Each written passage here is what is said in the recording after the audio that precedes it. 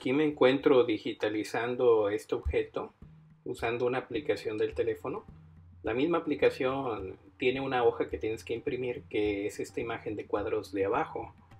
Este tipo de escaneo 3D se basa en la fotogrametría, que básicamente es una técnica de medición de coordenadas de 3D que utiliza fotografías como puntos de referencia sobre eh, una referencia topográfica sobre el terreno, eh, que son los cuadros esos negros que se ven, para hacer la medición. Es algo semejante a la metodología de la fotografía panorámica.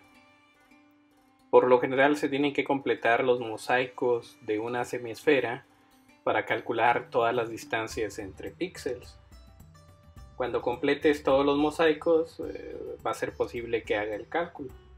Ahorita me faltan algunos mosaicos, entonces voy a completar moviendo la cámara para que pueda tomar todas las fotografías necesarias.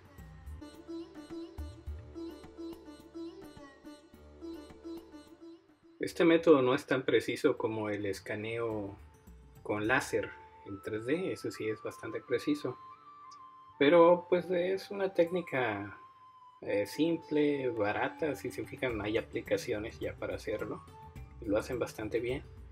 El problema de estas aplicaciones es que eh, muchas te cobran, te dan nomás un ejemplo, ¿no? Que lo hagas una vez y, y te cobran ahí una suscripción si lo quieres seguir manejando.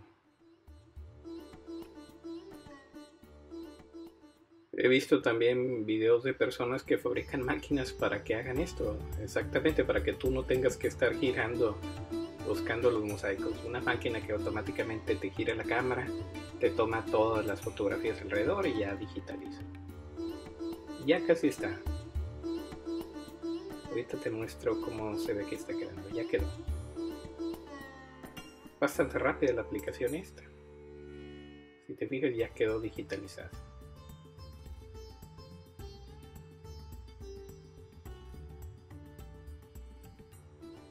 Es un carrito por abajo, se ve como que plano, o sea, no está el carrito porque no se ve la parte de abajo.